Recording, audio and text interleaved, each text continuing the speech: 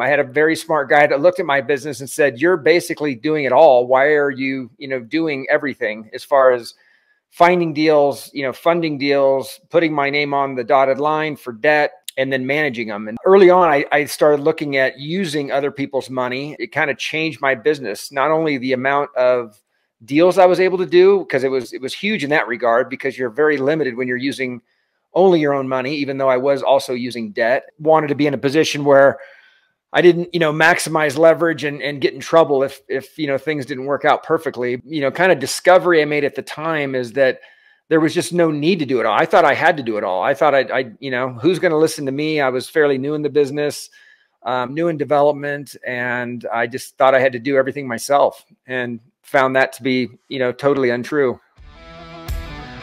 If you're a real estate investor and are wondering how to raise and leverage private money to make more profit on every deal, then you're in the right place.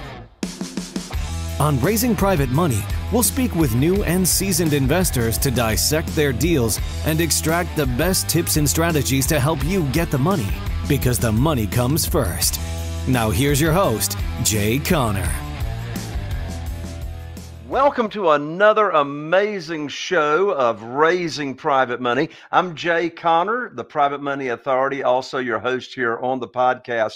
And I'm so excited to have my guest here today on the show. As a matter of fact, he had me on his podcast not too long ago. I was so impressed with how such an amazing interviewer he is and so much experience on raising millions of dollars in private money for his deals.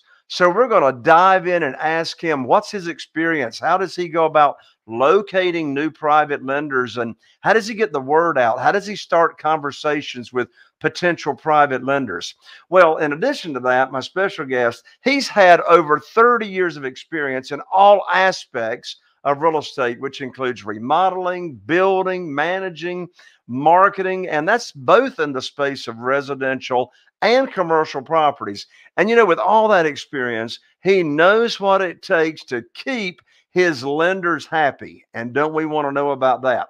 Well, his recent projects include residential rehabs, where what he's done is he's added square footage to the uh, properties, fixing obsolete layouts, functional issues, and a unique design were the norm. Well, in addition to that, he is also the founder and general manager of what's called Diversified Capital Partners. Uh, which is the uh, real estate development and development company, which specializes in real estate or residential real estate. He also is a uh, partner in the company called Anchor Loans, which actually does loans for new builds, for fix and flips, and they even have a long term uh, rental financing program as well. In just a moment, you're going to meet my friend and my special guest, Mr. Rod Wilson.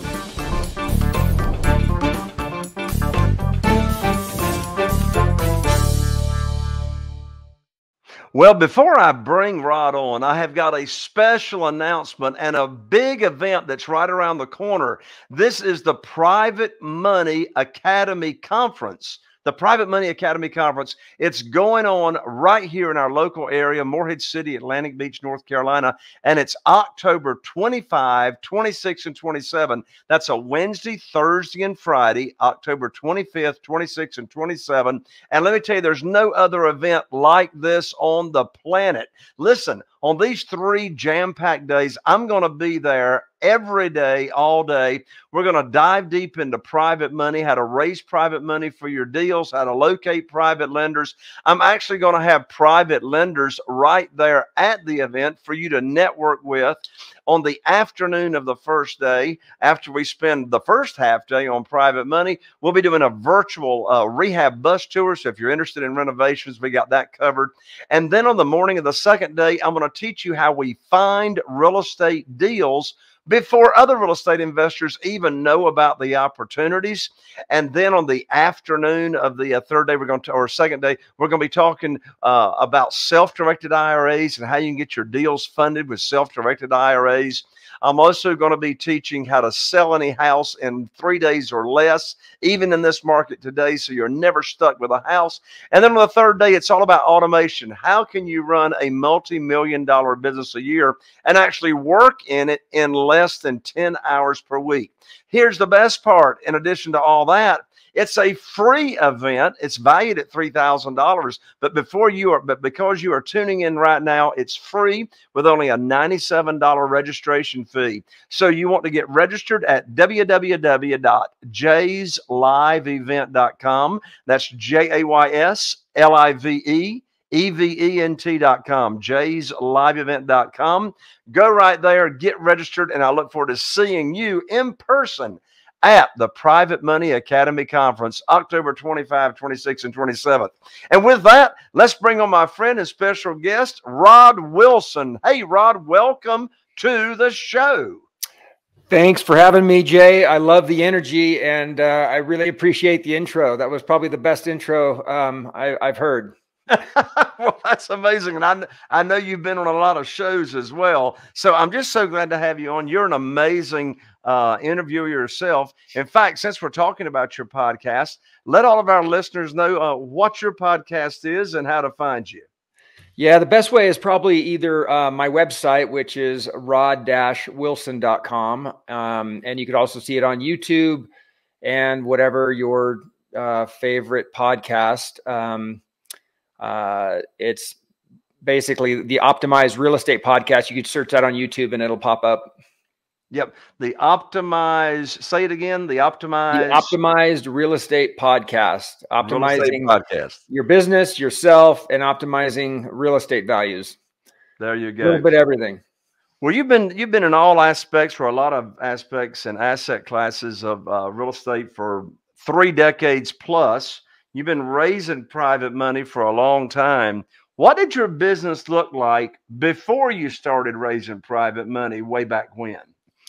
Well, I I actually um, met a guy that that looked at my business. This was very early on because I was basically funding all my deals. I was using bank financing uh, on the debt side, and then basically all the the equity or any additional capital ne needed to to fund and to complete my deals, I was basically doing it all out of pocket.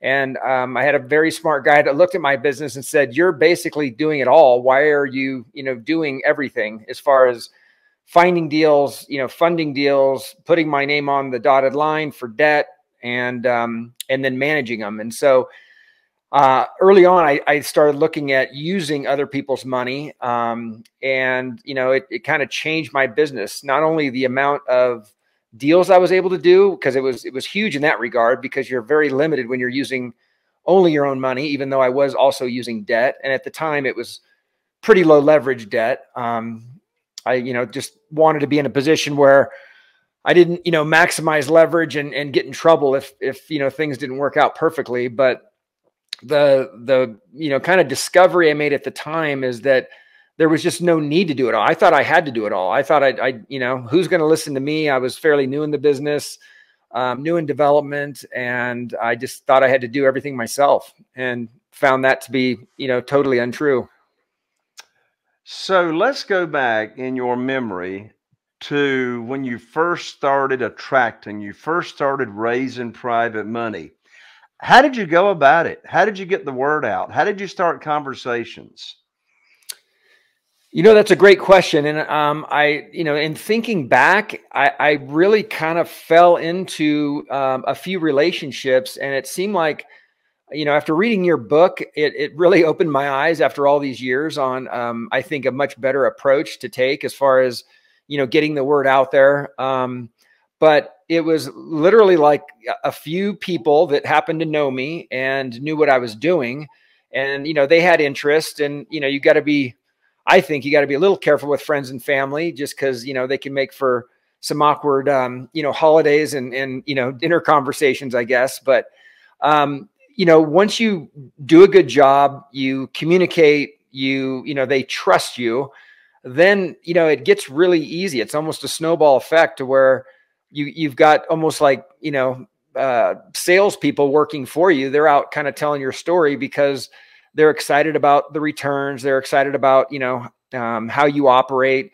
Um, it's kind of funny how um, I've I've also experienced where and, and, at the time I was doing kind of um, you know higher end projects. Um, you know, very nice either single family homes, and then I did some apartments that were you know kind of signature properties and it's funny that you know they feel like owners as as investors they felt like owners and we're very proud of what we were doing and so they wanted to talk about it so you know if i would have had your book jay you know 20 30 years ago it would have been um, i would have been able to do a lot more deals and raise a lot more money because i i really like some of the strategies that you have awesome well uh, what what are one or two of the strategies that really popped out to you in the book that was sort of like an aha to you well, the one that I've actually used a little bit, and it was more for uh, real estate agents to get, you know, to create more deal flow, were the luncheons.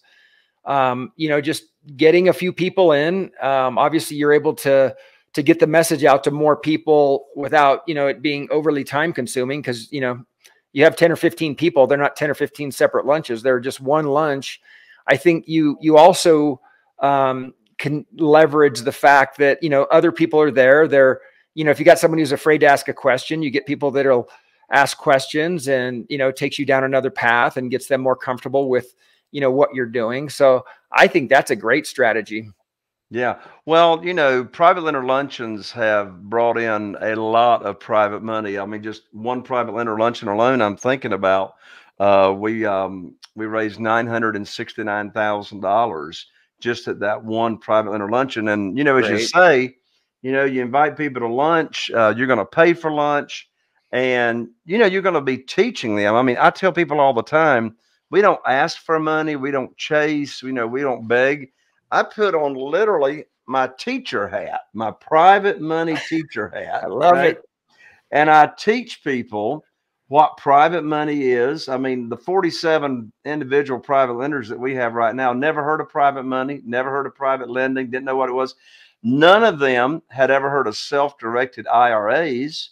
And over half of those 47 people are using their retirement funds. We introduced them to our uh, to Quest Trust that we recommend all of our private lenders use if they're using retirement funds. And you know, those private lender luncheons, I'm not pitching a deal uh, specifically. All I'm doing is teaching a program. And, you know, like we talked about on your show, we separate those conversations between teaching the program and then actually having a deal to fund. And Rod, you can probably relate to this. Um, the worst time to be raising money is when you need it for a deal. no question no question. And you you do a great job of putting that out early on and uh, i could not agree more. And the, the whole the, the, the strategy um, of just not you know chasing people. I mean that was a that was a big one. I i have a background in sales and i if i look at you know a lot of that time when i was raising money i i did feel like i was chasing. And you know your attracting model is just it's spot on. I mean, it's definitely the way you want to do it, especially when you're talking about people's, you know, people's money. Exactly, exactly.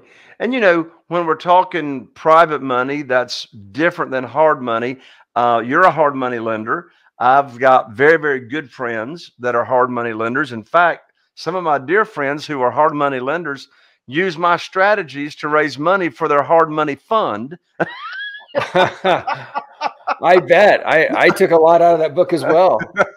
and so, um, but here's my advice uh, bottom line advice. At the end of the day, the more relationships that you have in place with private money lenders and traditional lenders, hard money lenders, etc., you know, the better off you're going to be. You know, I mean, as we've heard it said many times, your net worth, right? There's a direct correlation to your net worth. And, um, and you know, before we uh, wrap up the show today, I'm gonna want you to talk about your your uh, hard hard money lending fund that you have as well. But I mean, go back. I mean, how did you feel, Rod, when you were actually able to break through, raise private money back in the day, and realize that private money was the thing that was really missing in your business? And you started making all that doing so many more deals. How'd that make you feel walking around with money burning a hole in your pocket? You know it is it is one of those things where you know it, it's a it's a shift in mindset and just the confidence of being able to you know go after deals and get deals in contract. And you know it it, it went from being a scramble to more and i i look at this from from my experience anyway is that you know i was just kind of winging it at the beginning and then it, it turned into a real business when i had you know capital i had you know even some some um, you know admins and different resources. So growing beyond just kind of a onesie twosie deal at a time to a real you know kind of real estate business i think the, the big thing for me was just the confidence. And so when i was at the offer table or i was talking to a homeowner or a realtor or whatever it wasn't you know this back in your mind going you know oh no how am i gonna how am i gonna take this thing down? How am i gonna fund it? Exactly. Well you know desperation has got a smell to it. No question. Desperation's got a smell. I mean you know i practice and i advise um, my members in my real estate investing mastermind my platinum members as well my private money academy membership. I advise all of them to listen. Don't even talk to a new potential private lender that you're, you know, teaching the program to. Don't even bring up a deal that you've got either contract or, or, or you're getting ready to have under contract or that you're negotiating. Because even if you bring that up in the first conversation, you're coming across by not even saying it, but you're communicating, hey, I need funding for this deal, right? So that's why we totally separate, teach the program. They love the program. They're on board with the program. Have they got retirement funds? And we need to introduce them to our Quest Trust rep out of Houston, Texas. They get their account funded.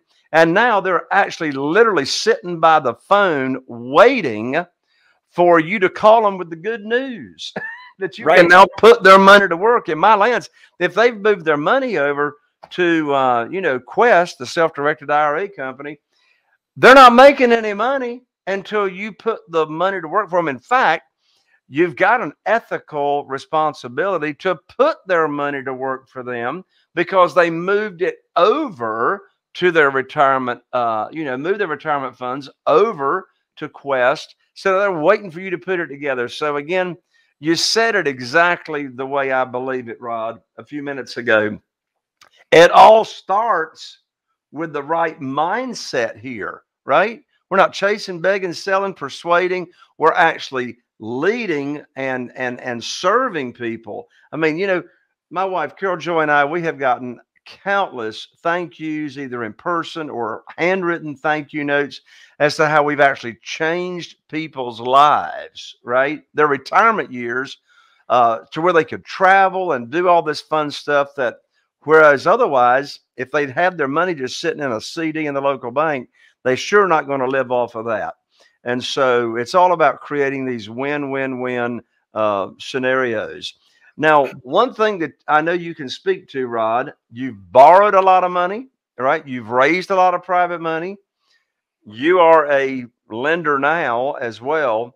From your experience, how how what's the best advice you can get on how to get the best hard money financing?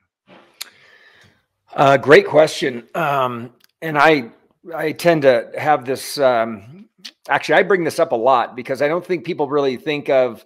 You know, I feel like the world of of hard money gets so focused on rate and points. I mean, it's it's probably a function of you know the advertising what the average hard money lender does. Um, which you know is is fine. I mean, it's important. Obviously, you don't want to pay more than you have to for anything, but there's so many things that come into getting the best financing from your hard money lender, and you know most hard money lenders you know focus primarily on credit and experience. So my advice is always obviously to keep your you know your credit score as high as possible. Um, and you know, I actually did a podcast with a, a credit expert, and she had some great advice in there. But you know, some I'm I'm always amazed. I mean, I, I can't even say that I really focus that much on my credit. Um, I you know I for for decades I had very very high credit, um, but it's amazing like how quickly that can go sideways. I, I went through um, the the fun times of the financial meltdown in 08. So you know had some challenges through there that my my credit took a pretty good hit and it was amazing how long it took to get that back up so there are you know just little things you can do to to protect your credit um, so it's it's obviously that seems super um, you know, it's it's not any uh, groundbreaking uh, advice, but uh, I think you know it, it, would help most investors just to focus a little bit on their credit and make sure that their score is super high, uh, and that it's not just missing payments, but it's also just you know how much you're utilizing your available credit that can uh, you know keep your credit score low. The second one is the experience and um, and again, I, I, I usually tell these stories because I was guilty of of this, but I'm very surprised at some fairly, you know, established uh, investors, developers that don't have a bio, they don't have a list of past projects, they don't have any details on performance. And I literally, you know, took my own advice, which was, you know, you're busy. It's the last thing you want to do when you're, you know, scrambling to go get either debt or even get, you know, if a if a private money lender wanted to see what your experience is and your performance and whatnot, um, you know, it's it's not something. It's not the first thing you want to do, right? You're you're managing your business, you're chasing deals, you're you know doing uh, projects, construction, whatever is very time consuming. So to sit down and go back through all the HUDs and all the addresses and what'd you buy it for, what'd you put into it, what'd you sell it for, and so I literally um, for a weekend took like a I don't even know what you want to call it, um, a, a, working vacation, I guess, and just basically locked myself away with no distractions and focused on. I call it telling your story, which includes all the things I mentioned, plus just you know the why, why you're doing what you're doing. You know, it, it, I guess share how much you enjoy it. Um, I think that goes a long way for people to. I mean, really, what you're trying to do is is create trust, and to do that, it, it's it includes the numbers, but it's also more than just the numbers. So just understanding kind of why you're doing what you're doing, and and even explaining in in the um, in the commentary or however you're you know you're doing it. I mean, I I would recommend like a resume slash bio, but even if you're just putting together a list of properties, you know, explaining some of the things you did, meaning how you created value and and how you know you made it a successful deal. Um, as well as just you know um, talking about some of the challenges and how you overcame them. I mean, everyone knows real estate isn't perfect, and there's going to be challenges. And as a as an investor, if I'm going to invest with someone, I want to know that you know not everything was so rosy because usually if that's the story, it's it's usually not you know the truth or or at least not completely the truth. And I want to know how they dealt with uh, challenges. Mm-hmm. Well, you're right. I mean, you know whether it's a private lender, an individual uh, that is looking to invest in your deals or loan you money, or if it's a hard money lender. I mean, if if you're not credible, if you're not if you're not telling the truth and telling it like it is, um, I mean, I've heard other people say, say, look, you know, I, I want to hear the ugly stuff too, right? So, um, you know, tell it like it is. One of your talents, Rod, is knowing and having a lot of experience in maximizing a value in a fix and flip. And we've got a lot of a, uh, um, a lot of listeners here on the show that do fix and flips. Uh, what are some tips that you can give through your own experience on maximizing value? Um, well, yeah, there's a lot we could talk about there. Um, I actually did a a podcast with one of the top real estate agents in the um, in the Bay Area, in Los Gatos, Saratoga area, and we she had a concept that's that she called check check all the boxes, and there there are certain boxes in a and and obviously this depends on the the segment of the market you're focused on. So you know it's not going to apply to everything. If you're on the you know the low end to the medium to the to the high end of the market, obviously there's there's different things you want to address related to um, you know the the kind of the broader appeal to your buyer. So you got to think about the buyer um, but i was primarily in the kind of higher end fix and flip space and in that space there are just certain things you had to quote unquote check the boxes the certain boxes. And you know one of them um, and and I should probably qualify this. This doesn't apply to, to every deal. Some you want to get, you know, the market's so hot, literally it's paint and carpet and you're out and you're, you know, do very well. So I'm not saying that, that, you know, do this strategy on every deal, but um, most of the ones I did, I, I applied this, um, this practice, which was um, you know, dealing with some of the functional obsolescence. I mean, you can you can put the nicest tile and the you know greatest master bath and do whatever, but if the layout is really funky, it's it's going to be hard to maximize the exit. So the functional obsolescence are, are, are a big one. Um, mistakes I see a lot of developers make is it's not finished. And what the way I approached it is I think I want to have the house be done in a way that the buyer is going to want to come in there in like the next week. They're going to want to have all their friends over for a barbecue. So, you know, a lot of developers will leave the the landscaping not done or you know, they don't create outdoor spaces and you know, I was in California, so this doesn't apply, you know, across the country, but um I want to I want them to not only to be, you know, to feel good and be able to live, you know, move in like the next day, um, but I also want them to be so proud and so excited that they want to show off you know the property to their friends and have you know whatever a barbecue a party whatever it is. So um, i you know usually would invest a couple bucks in making some outdoor spaces. Um, i wouldn't say you know going over the top on landscaping but for sure the the frontage you know i'm always looking to get that money shot um, for the listing. So that would include making sure that you know at least the front yard landscape was was pretty dialed in. I um I, I can't even think of a time where I, I didn't do the backyard as well. Um, but you know, you don't you don't go over the top. You can go crazy on landscaping and basically, um, you know, spend a lot of money that I don't think you get you get back.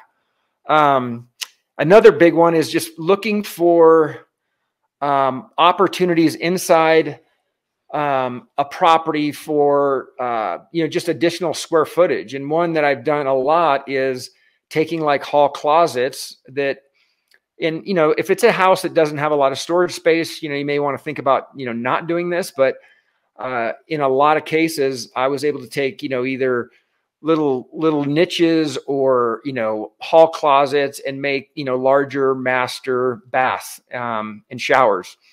Um, i mean as you know in, in some a lot of the older houses especially on the west coast you know the master shower back in the you know, whatever 40s 50s 60s was very small and that's just not something a you know a buyer is going to want these days. So looking for areas that you can and a lot of them are are not expensive um, you're going to redo the shower anyway. I mean to pop into a closet and you know do a a little bit of um, you know framing and and um, you know sheetrock and tile and whatever i mean it's it's not hugely expensive but man uh, you know it can make or break your deal because when someone walks in that master bath and they see how how tight that shower is. And they, you know, the first thing your the brain does is want to visualize yourself in that thing, and it it's not it's not what they want or not what they want to pay for. And so I, I think that's a that's an area to create some value and some kind of upside on the price. Yeah, you and I have got the same exact philosophy and practice on the landscaping point. Um, when I'm doing a fix and a flip and I'm wanting to get top value uh, in the multiple listing service, um, I always make the the uh, the front of the yard, particularly. I mean, like a showplace.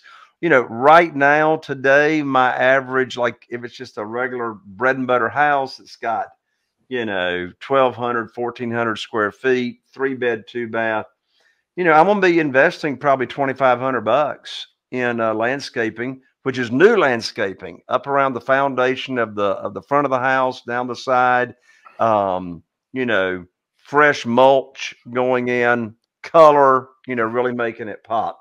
Well, before we wrap up, Rod, I want you to share with folks about your uh, company, which is called anchorloans.com, anchorloans.com, and um, what that lending arm is all about. Yeah, thanks for asking. Actually, one thing came to mind, Jay, when you were just talking, and um, I, I used to call it my secret weapon, and my secret weapon in in fix and flipping was my wife, and the reason is the reason being, she's an interior designer, um, which I do recommend. You know, having someone most most uh, and this is just my experience, but most fix and flippers, most contractors, they do. I think they they they don't really see the whole vision of a house of an interior and I think that's what a, a designer brings to the table, as well as in, in the secret weapon part of it is color. I think the biggest miss um, in whether it's ground up construction or fix and flipping that a lot of you know flippers or, or developers will make the biggest mistake is basically the colors and they either try to do too much or too little or they just try to get maybe too creative and use a color that just doesn't work and you know there's a there's a a feeling you get when you walk into a house you want it to be warm and you want it to obviously appeal to a broad audience um, and uh, I think that's just the the color selection is is so huge on top of the other things I mentioned. So anyway, I just thought I'd throw it in there. Well, I'm glad you did. Uh, uh, that's another example of how we have the same philosophy. We've had the same interior designer on our team since 2004. Her name is Beth Garner. She chooses all the colors and she tells the contractor what to do. Uh, it, it's worth every nickel for sure. Yeah. And, you know, I mean, I still stage our houses to the hilt. And, and we've, in fact, we got four climate controlled um, storage units that's, you know, that's got the staging stuff we've been collecting for years. And uh, she knows based off of what we have in storage as to the staging she's going to put in there, the pictures and all that. That helps drive some of the color coordinations. But anyway, Go ahead. Tell us about Anchor Loans. Well, and the, the staging is it, and we can go on and on, but that, that's a huge nugget. And that's a, a huge mistake that, that I see guys making where it's not either not staging every bedroom or not staging the outdoors. So yeah, I, I agree hundred percent. Um, yeah. So getting into Anchor Loans, Anchor Loans is a hard money lender focused primarily on fix and flip and ground up construction developers. Um, we focus primarily on one to four family. Uh, the company has been around, you know, 25 years. Um, uh, we're in about, I think it's 48 states today, 47 or 48 states. Uh, so we cover, you know, the whole country. Um, yeah, I mean, it, the the whole the the one thing about Anchor because I've used a lot of hard money in, in the past, and the reason I'm at Anchor and like Anchor and and and think that you know we're kind of the best option is just the experience number one. So under this company was built to um, provide a service to you know uh, originally it was ground up construction lenders i'm sorry um, developers. And as a developer obviously you want you know the cheapest money you can get. You know you want to keep your your cost as low as possible to maximize profits. But the one thing that a lot of people don't really um, I guess, appreciate until it, you don't get it is just the speed at which they operate, which is, you know, funding on the front end on the purchase. So you're able to write, you know, tighter contracts and, and be more competitive on the, uh, on the offer. Um, you know, the huge one is fund control. And I've had absolute nightmare, and I won't mention any names, but some of our competitors have just been absolute nightmares on um, dealing with fund control. If you can't get your money, and this is, my big pet peeve and actually why I, I like your strategy for for private money is you know i i can you know do my job meaning you know do some do a fix and flip or a, or a new construction deal you know quickly and efficiently and everything else. But if your if your money's not there when you need it i mean it can really impact obviously your time frame but then you know your cost of overall financing. If it's you know every draw takes an extra you know few days or weeks to get your money and you're not able to pay subs and it slows things down. And and believe me, I have missed the market um, a couple times. And you know, looking back, I mean, it was really. I, I mean, I, you can't blame the lender because maybe I should have had more cash to to keep things rolling. But they made the the process of getting those um, the construction holdback funds so painful and so time consuming. I mean, not only was I and my staff spending a lot of time to get them what they needed, but um, you know, you you've got subs and, and contractors that have schedules, and you know, if you're either not getting them paid or you're slowing them down, they may have to go jump on another project, and that you know, couple day delay turns into a couple weeks, and you know, we all know what that turns into when when you're trying to get a product to market. Absolutely. So again, that's www.anchorloans.com. And Rod Wilson is here, my guest on the show today.